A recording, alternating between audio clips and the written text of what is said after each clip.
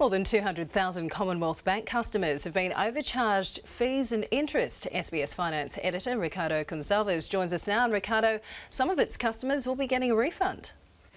Well, if you haven't checked your bank balance recently, you might want to do it now because, on average, $370 has or will be returned to affected CommBank customers. And all up, $80 million is being refunded to about 216,000 people with a mortgage advantage or wealth package product.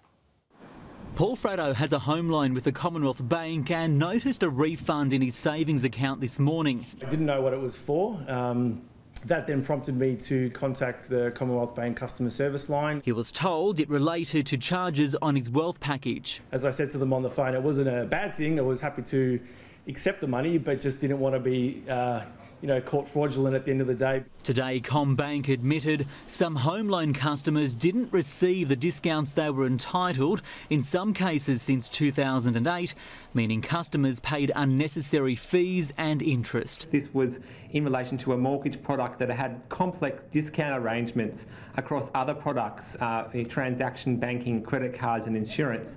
And I think it got too complex for Commonwealth Bank. Bank staff were required to manually apply the discounts. In many cases, that didn't happen. I think it's likely that other banks uh, may have similar problems. In a statement, CommBank said an independent expert was engaged from the outset to review and validate the refund approach and that it's taken steps to address the root causes of the error, including changes to controls, systems and processes.